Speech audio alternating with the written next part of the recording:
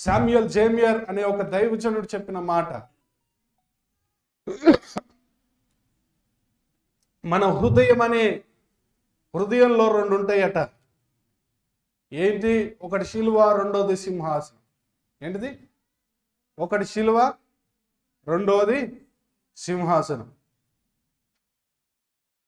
ఒకవేళ నువ్వు సింహాసనం మీద కూర్చుంటా అంటే యేసు ప్రభు శిలువ మీద శిలువ మీద ఉండాల్సి వస్తుంది. ఒకవేళ నువ్వు శిలువెక్తానంటే యేసు ప్రభుకు నువ్వు సింహాసనాన్ని ఇస్తావు. ఇప్పుడు మనం ఎక్కడ ఉండడానికి ఎక్కువ ఇష్టపడతాం? శిలువ మీద సింహాసనం మీద? సింహాసనం మీద నువ్వు ఉంటూ ఉంటే ఇంకా యేసు ప్రభు ఎక్కడ ఉండాల్సి వస్తుందో తెలుసా? శిలువ మీదనే. ఇంకెన్ని రోజులు నీ స్థానంలో ఆయన నుంచుతావు? ఒకప్పుడు ఈ లోకానికి వచ్చాడు. ఆయన నీ స్థానాన్ని తీసుకున్నాడు కలవరిశిలో మీద. నిజంగా పరిశుద్ధినిగా ఉన్న ఆయనకు మరణము సంభవించాల్సిన అవసరత కానీ పరిస్థితి కానీ లేదు.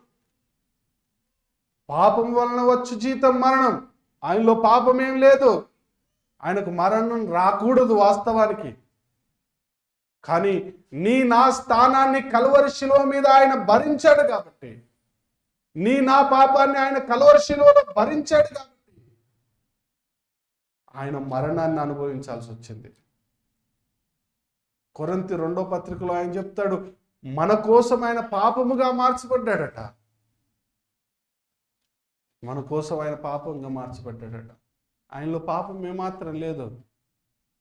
ఆయనలో పాపం ఏమాత్రం లేదు. వీళ్ళరా ఆయన అలాంటి ఆసక్తి కలిగి లోకానికి వచ్చి మన కోసం మరణించడానికి ఇష్టపడితే ప్రభు పట్ల ఆసక్తి లేని జీవితాన్ని మనం జీవిస్తున్నామంటే ఏమనాలి?